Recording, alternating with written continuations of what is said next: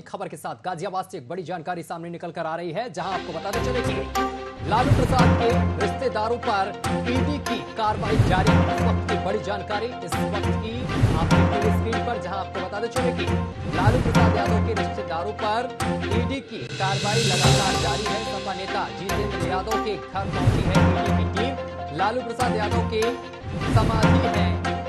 समधी है। माफ़ करिएगा, लालू प्रसाद यादव की समझी है जितेंद्र यादव।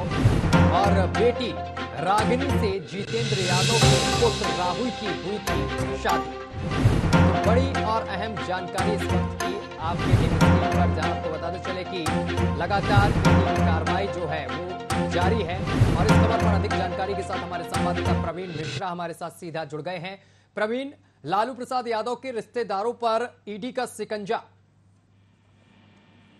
देखिए सत्यम आपको बता दूँ ये सुबह जैसे ही आ, मतलब जैसे ही त्यौहार खत्म हुआ उसके बाद सुबह जैसे ही राजनगर आ, राजनगर का जो पौष इलाका है वहाँ पर ईडी पहुँचती है। ईडी एक घर को चिन्हित करती है। वो घर जो है वो लालू प्रसाद यादव के दामाद का बताया जा रहा है जो जितेंद्र यादव है पूर्व एमएलसी हैं और जिनकी बेटी जो उनसे शादी हुई है उनके घर पर छापा किया गया। भारी पुलिस बल मौके पर मौजूद है। लगातार अभी भी कार्रवाई जारी है। कहीं ना कहीं अब जो जो पूरा एक खेमा है यानी कि जो परिवार है इनका लालू प्रसाद यादव का उनको भी नहीं छोड़ा जा रहा। है, उनके पास से भी जो जो चीज़ें हैं, उनको भी उनको तहकीकात की जा रही है। हालाँकि साफ़ तौर पर विपक्षी जो है जो अब तक से आरएलडी के जो जो नेता हैं, उनके बयान भी आने चालू हो गए हैं कि कहीं ना कहीं भारतीय जनता पार्टी अब लगातार उनको घेर रही है, उनके परिवार को घेर रही है, उनकी बेटियों को घेरा जा रहा है और उनके यहाँ पर छापेमारी की जा रही है।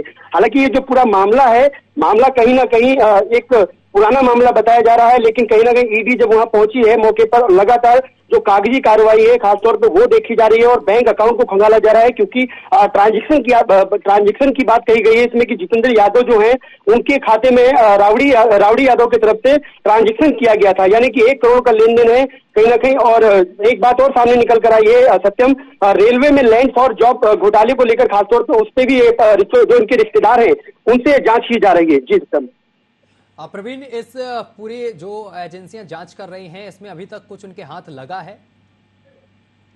देखिए, अभी जो कागजात हैं, उनको खंगाला जा रहा है। खासतौर पे जो बैंक अकाउंट है, जैसे जो जो रिश्तेदार हैं, यानी कि पूरे दिल्ली एनसीआर में जहाँ जहाँ उनके ठिकाने हैं, जहाँ जहाँ पर उनके रिश्तेदार रहते हैं, लगभग 26 से ज़्यादा, मैं आपको बता दूँ 26 से ज़्यादा ठिकानों पर ईडी छापेमारी कर रही है। लगातार दिल्ली में उनका आवास है। जो इस समय जो उप मुख्यमंत्री है, लालू प्रसाद यादव के बेटे, उनके घर पर भी वहाँ पर ईडी पहुँची हुई है, लगातार छापेमारी जारी है। चले बहुत बहुत शुक्रिया आपका तमाम जानकारी साझा करने के लिए।